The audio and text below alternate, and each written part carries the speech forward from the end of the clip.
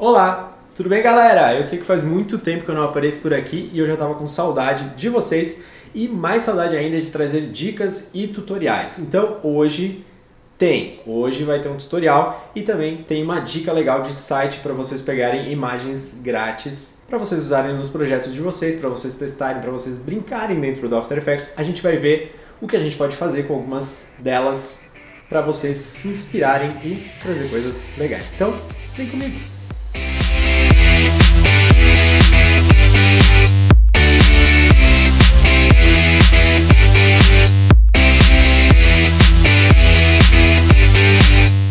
Essas cenas que vocês viram foram criadas usando imagens do site Reshot.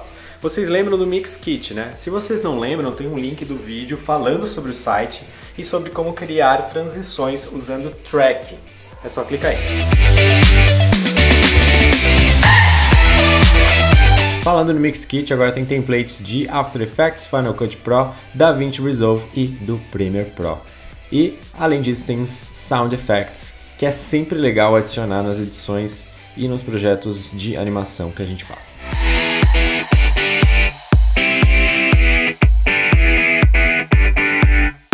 O Reshot é uma galeria de ícones e fotos selecionadas e gratuitas para vocês usarem nos seus projetos criativos. Você pode usar o conteúdo de várias formas e hoje eu vou mostrar como eu criei esta cena usando uma foto do site. As imagens que você encontra no Reshot são autênticas e exclusivas do site. O site permite o uso para projetos pessoais e comerciais. A cena que eu vou usar é essa aqui. Eu não preciso fazer login no site para baixar e muito menos para utilizar a imagem.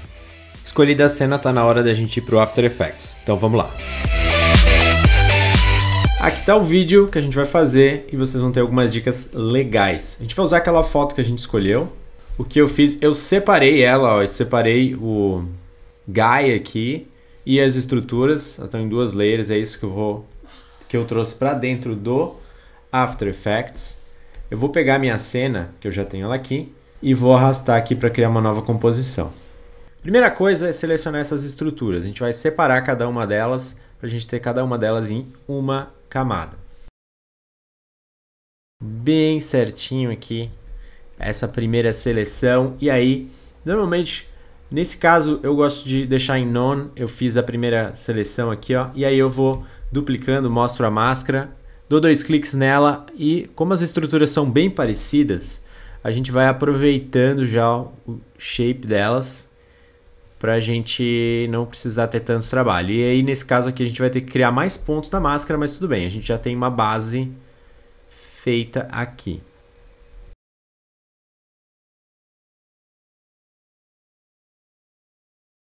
Quando você segura Alt aqui, ó, eu segurei Alt, então a gente consegue, clica em cima do ponto, arrasta, você consegue fazer a curva, tá? Só para quem não não tá ligado nisso, é assim que funciona, tá? É isso que eu tenho feito aqui.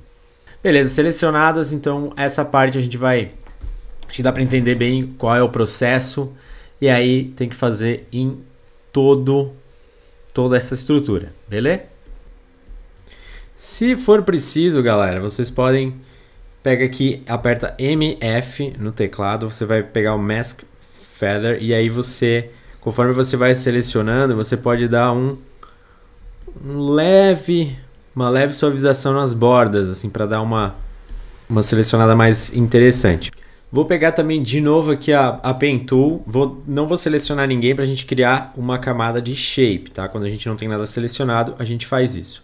Vamos começar aqui da primeira estrutura, a gente vai selecionar mais ou menos aqui, ó, desenhar uma linha pelo centro, tá? E aí a gente vai espaçar aqui, ó, com o shape selecionado, a gente vai espaçar e aí você vai ajustando vai aumentando aqui. Pode passar um pouquinho do tamanho e aí a gente vai colocar uma cor aqui, vocês podem selecionar a cor que vocês quiserem.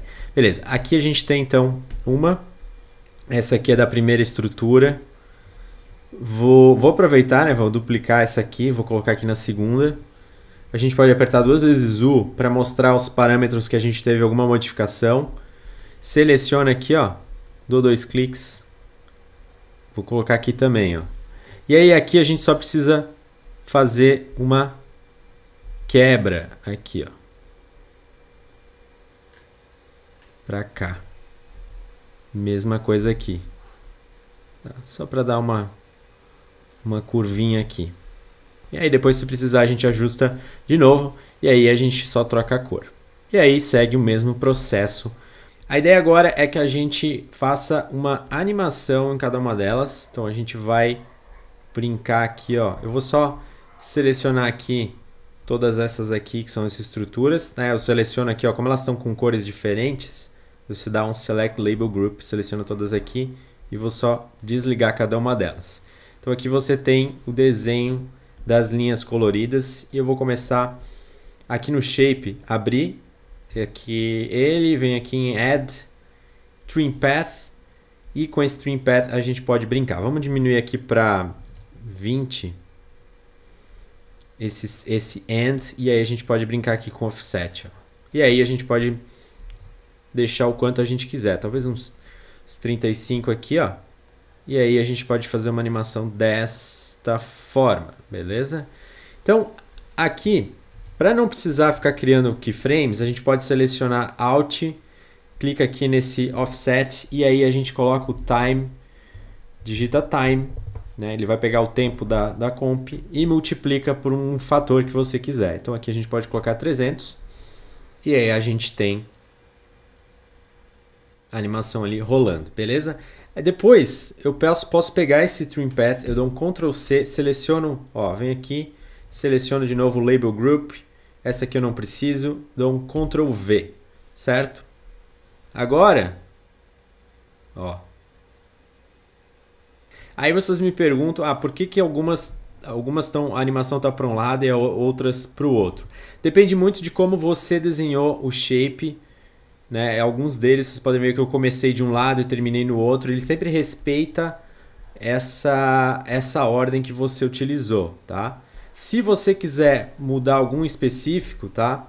Você. Com as layers aqui selecionadas, você pode apertar duas vezes U, ele vai mostrar os parâmetros que foram alterados, né? Que não são o padrão do After Effects. E aí você tem a opçãozinha aqui, ó, de mudar o direcionamento disso aqui. Inclusive a gente pode até pegar uma delas aqui bem no começo, ó. Essa primeira que a gente fez, de repente eu vou mudar o lado dela também. Agora eu vou botar minhas estruturas de volta, vou dar um select label, vou ativar aqui. E a ideia é que fique só dentro desses, né, dessas estruturas. Então, o que, que a gente vai fazer?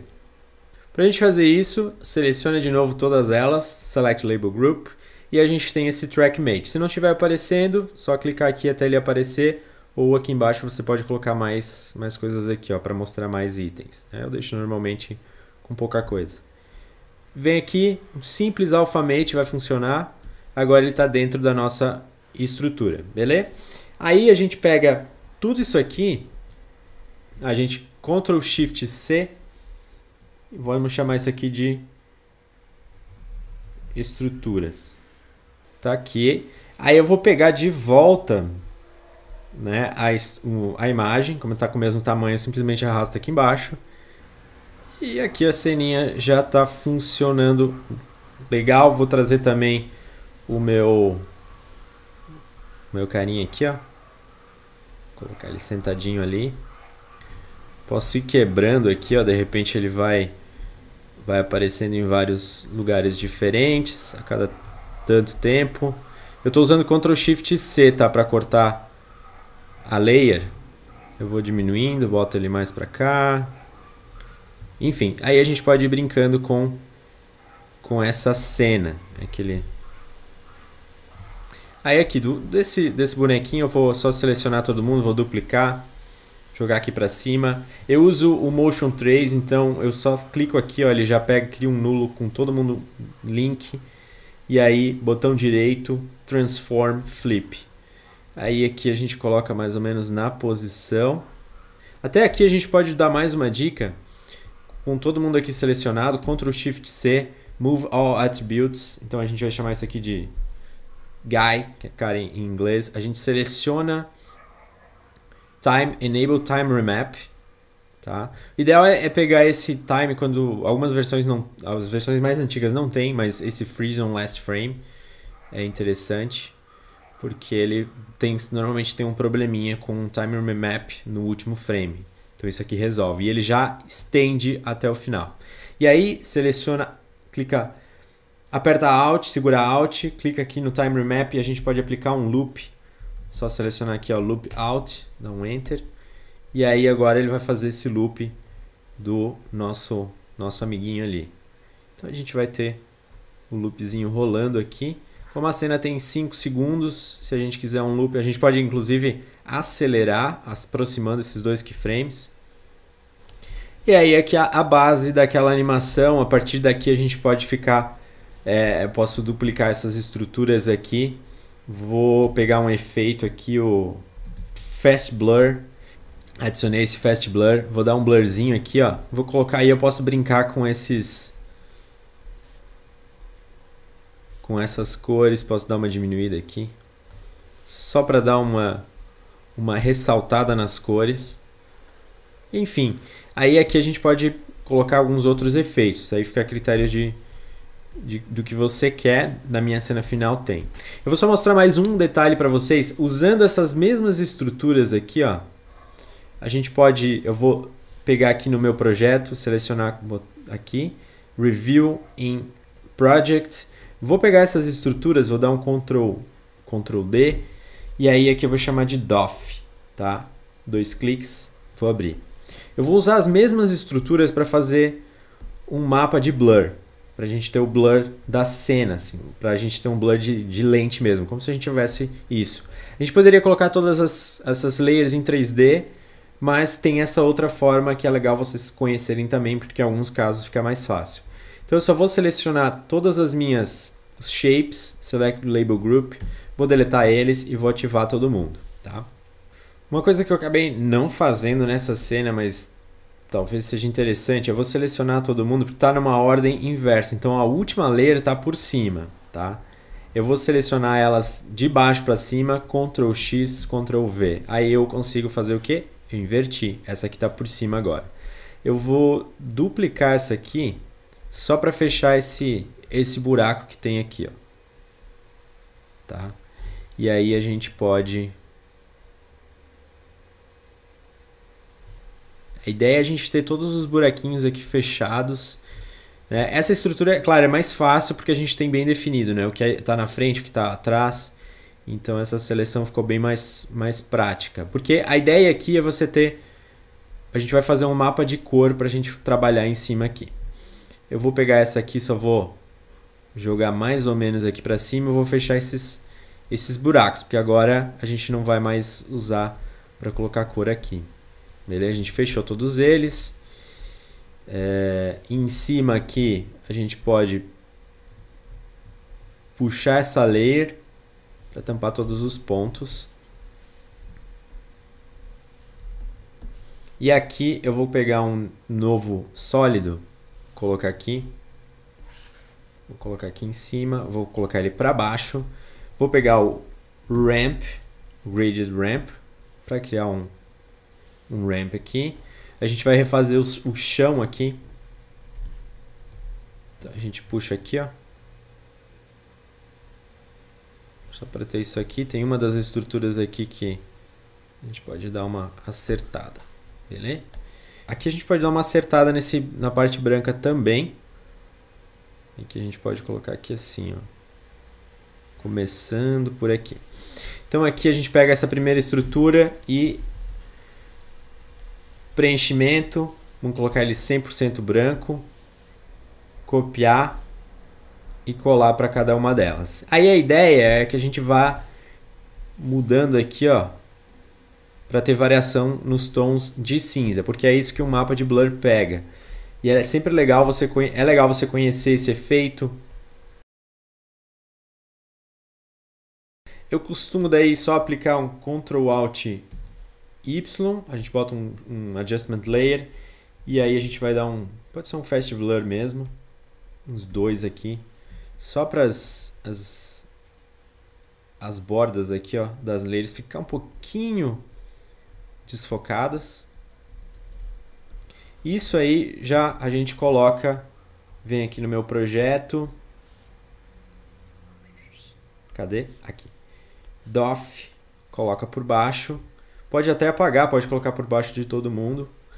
E aí a gente coloca Ctrl Alt Y, bota aqui então, vamos chamar isso aqui de Depth of Field, então DOF.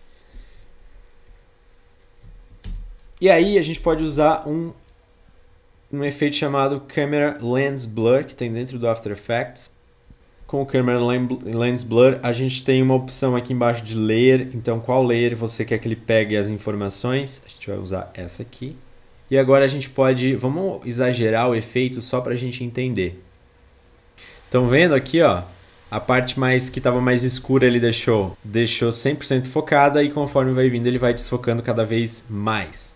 A gente pode dar um repeat edges aqui, ó, tá vendo que tem um, uma diferencinha aqui, ó. Uma coisa meio estranha. Se você ativa isso aqui, funciona. E aí a gente, claro, a gente não vai usar isso aqui tão forte, né? Você coloca aqui o blur radius da forma que você quiser. E aí a gente tem o blur focal distance. E aqui a gente controla qual parte que vai ficar focada e qual parte que desfoca. Então a gente pode trazer o foco mais para frente e pode deixar até mais sutil isso aqui, ó, deixar com 6. E a gente tem controle do DOF, dá uma, uma deixa a ceninha um pouquinho mais interessante. Então essa é uma dica interessante de como criar um DOF e também pegar uma foto, um processo criativo um pouco aqui mostrando para vocês, de uma foto super simples e uma maneira de, de animar ela. Né? Eu peguei algumas imagens do site, fui trabalhando para usar a minha criatividade. Então, no caso dessa, teve vários, um trabalho até no Photoshop, porque a cena original era um pouco diferente, ela tinha uma saída aqui. Então, tem várias coisas que você pode brincar, e a outra cena foi essa aqui. Essa aqui deu um pouco mais de trabalho, porque cada um desses itens está aqui. E as animações são basicamente no frame a frame, ó, tudo com hold. E aí, curtiram? Então agora fica o desafio para vocês. Escolham algumas fotos para animar e tentem espremer as ideias para explorar diferentes técnicas dentro do After Effects. Imagine a forma como vocês querem animar essa foto e aí tentem fazer isso dentro do After Effects. Se vocês não conseguirem, é normal, às vezes a gente não consegue fazer exatamente o que a gente quer. Pesquisem, mas tentem executar da forma que vocês imaginaram, da forma que vocês planejaram essa, essa animação. Não deixe que limitações técnicas daquilo que você já sabe fazer travem o seu processo criativo para criar coisas diferentes. Guardem esse site na caixa de ferramentas de vocês. É importante lembrar que as imagens estão sob a licença Reshot. Então, dentro do site lá tem explicação de como essa licença funciona. Essas imagens você pode pegar de forma gratuita e elas estão liberadas para utilizar em diferentes projetos. É sempre bom lembrar que você, é, é legal vocês lerem todos as especificações dessa licença para ver se não tem nenhum impedimento para você utilizar aquilo para um cliente, por exemplo. Isso vale para qualquer site que disponibilize imagens para você utilizar em projetos. Se vocês tiverem alguma dúvida, é só entrar em contato com a gente, comentários, e-mail, enfim, qualquer forma que vocês encontrarem. E é isso aí. Eu desejo ótimas ideias a todos vocês. Eu vejo vocês na próxima dica.